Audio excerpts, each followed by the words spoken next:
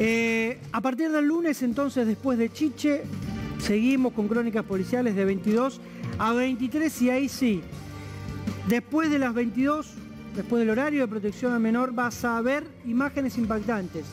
Imágenes que hasta ahora tal vez no podíamos mostrar por la dureza, por la crudeza de las imágenes, investigaciones, crímenes, escuchas telefónicas, trampas. Hay muchísimo material de las trampas del IFE, de La Llorona, todo eso la semana que viene. A partir del lunes, crónicas policiales de 22 a 23.